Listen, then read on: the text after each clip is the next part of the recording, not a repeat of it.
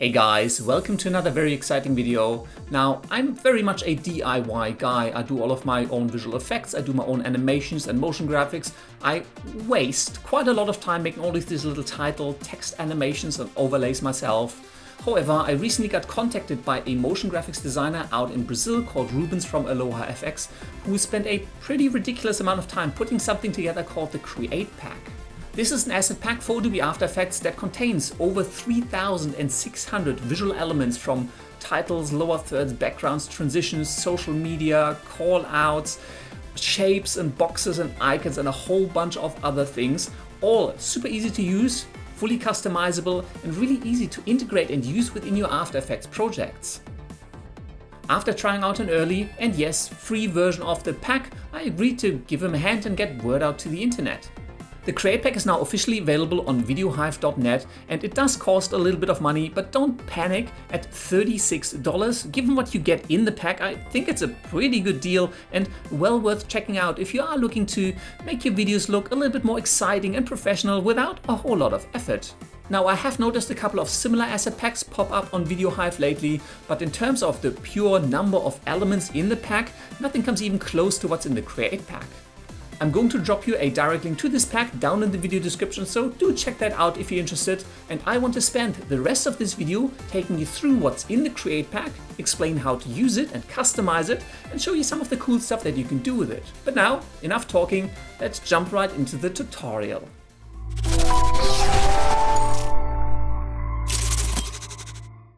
Welcome to the exciting world of Adobe After Effects. In order to use the Create pack within Adobe After Effects, you first need to install a free extension called Motion Bro. I'm already set up here, so I can find this extension under Window, Extensions, and then Motion Bro. Now, the Create Pack does contain some really clear and very simple instructions to follow on how to get this installed and set up. If you've got any questions or problems, just leave them down below, or I can make a separate video on that.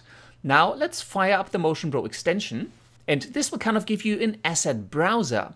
I already have the Create Pack loaded up into the Motion Bro extensions, so now I can browse and use all of these elements that are contained within the Create Pack. Let's quickly have a look through what's included in this pack before I show you how to use and customize all of these elements. Let's jump over to Browse and the Create pack contains different categories for typography, which are full screen title elements. Then it's got a section on social media, so you'll find tons of social media icon for all of the different platforms in here. Then it's got a category for devices, which are full screen titles, including 3D animated objects for all of the different devices that you might be making videos for. Then it's got a section on titles, which are fully responsive, animated, really nice looking titles lower thirds, which are titles that sit in the lower third of your screen, which is why they're called lower third. And again, there's a whole bunch of different ones in here from, you know, more stylistish and modern to quite fashiony and artsy. Then there's a section for callouts, which are these little animated highlighting callouts that you can use to point out things in your video or motion track to your shots. Then you've got transitions, which is a huge collection of different animated, just very sleek little transition elements that you can use to cut from one video to another. And again, everything is fully customizable. Let's collapse this, look at backgrounds. And these ones are full screen animated backdrops and they range from modern and artistic to more organic, more like lava lamp feel styles or marble. They're all animated and they also include an in animation so you can actually make them appear in different ways if you just want to start out a title screen for your YouTube channel or an end card or something like that. So those are all the backdrops. Then this category I personally really like, it's the bursts category, which is tons of these little animated overlays that you can often see in TV commercials or on Instagram. It's kind of very, very pop culture very cutesy, and they're just really easy to use. Let's collapse that again, jump into lines. And in lines, you'll find a whole bunch of just animated sweeps, like animated lines and animations, little scribbles. Then there's kind of triple lines, which do look really nice and kind of like a rainbow. And then if you come to the very top, you'll also find some more pop culture elements like glasses, crowns, little animated heads, and all of them have nice in and out animations, and they're all animated. Let's collapse that again. And finally, let's look at the shape elements. And shape elements includes smart icons, which is a selectable list of different icon animations that you may want to use, as well as a bunch of smart shapes. And these ones are simple animated shapes that you can use for the backdrop or to maybe put some text on in. All of them have tons of different in and out animations, so you can customize them in any way that you want. Then there's some shape animations, and further down you'll find waves, which are these kind of lower third style wave backdrop, which you can use to, you know, overlay some text or just highlight something or just as a backdrop. They're really nicely animated. But now that you kind of got a feel of what's actually included in this pack, let's check out how to use and customize these elements. For that, I'm just going to grab the Motion Bro extension, kind of snap it to the right side of my preview window right here, just so it's a little bit easier to see. And let's say I want to create a new title animation. I want to create a new card for the opening of my YouTube video. So let's just create a new composition. Let's call this one title. I'm going to leave it at 1080p, so 1920 by 1080, which is full HD. There's my little title. And let's come into the Motion Bro extension, into the Create pack. Let's jump into the typography section and let's find a big title here. And the cool thing with the Motion Bro extension is that all of these assets have really nice previews, so you can kind of preview them up above so you know exactly what you're going to get. And maybe I'll go with this one for now. So make sure you're in your composition at the time where you want this element to start. And then in the Motion Bro extension, let's simply hit apply. This is going to add this element from the create pack as a new layer into your composition. And in our preview window, if we now scrub through, we now have this fully animated title element.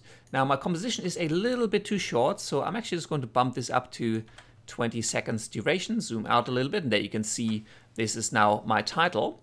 And on this layer, you'll find an in and an out marker that let you control how long it takes for this title to appear, how long it's statically visible, and then how long it takes to disappear. And these ones are all driven by smart expressions, so you can simply drag these markers in. So maybe I only want the title to take two seconds to appear.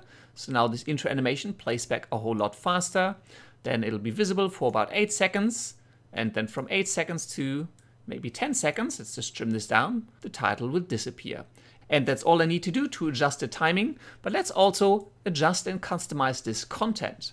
Now, the elements from the create pack are driven by expressions internally, but those ones are exposed via controls that you can easily access through the effects controls panel. With this layer selected, let's come into the effects controls. And on this particular element, they're not at this level here because this is a self-contained animated text title. So you actually need to dig into this composition. So let's just double click on that. And here you can see here's the layers that you can customize. There's four text elements on this screen.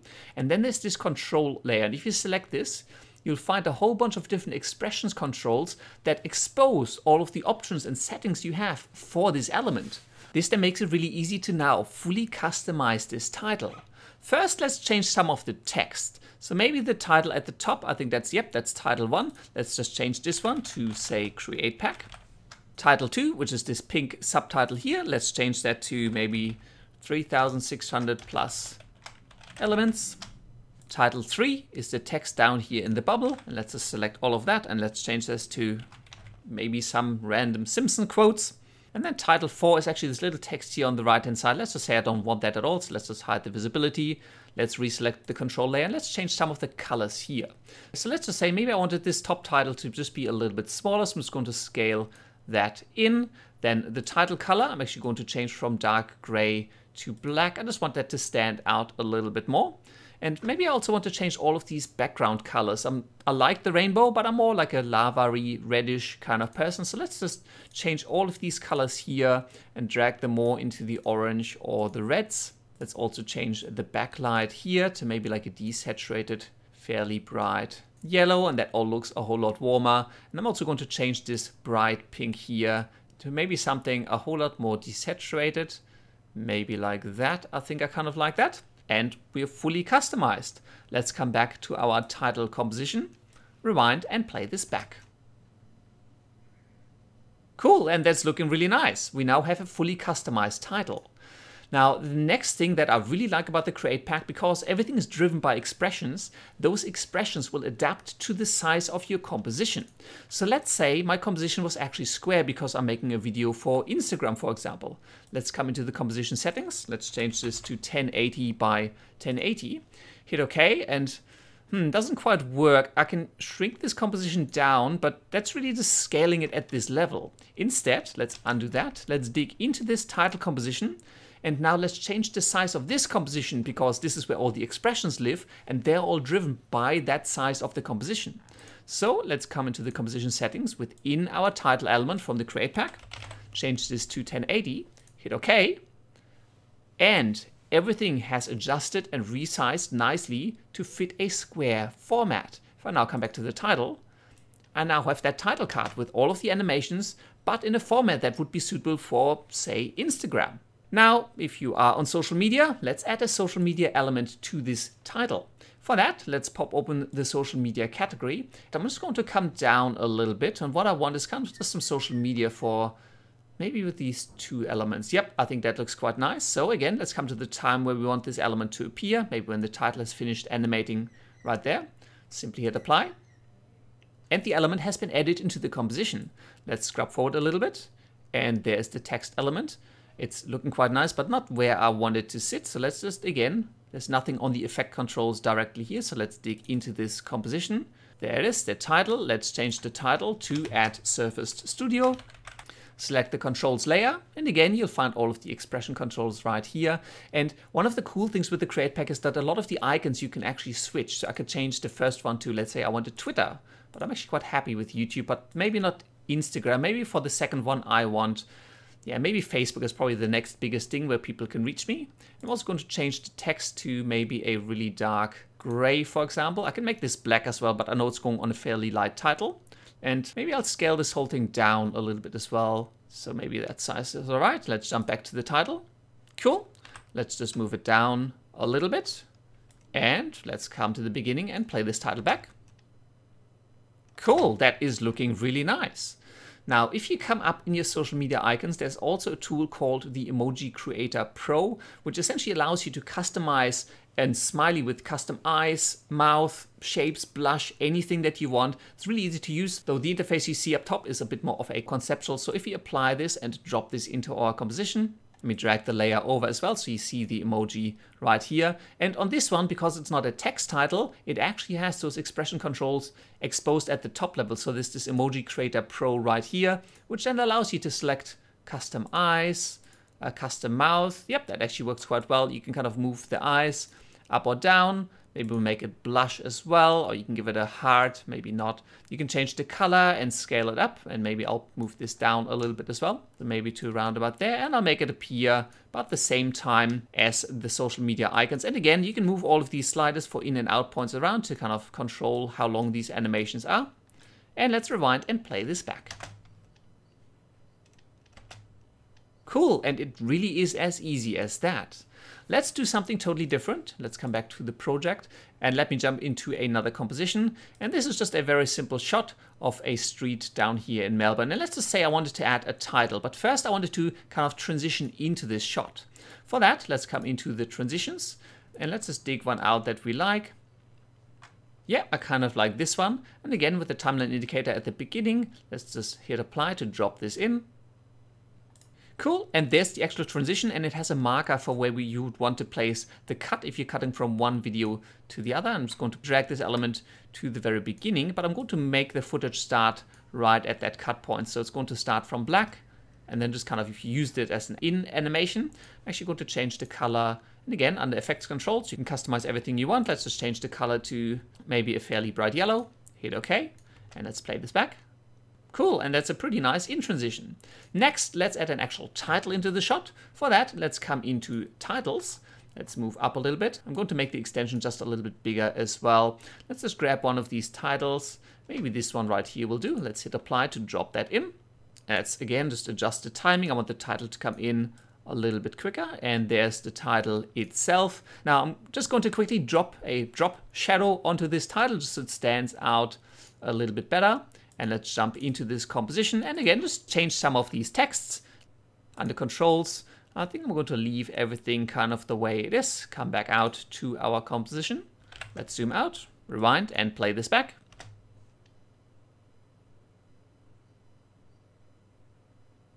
Cool, that is looking really nice.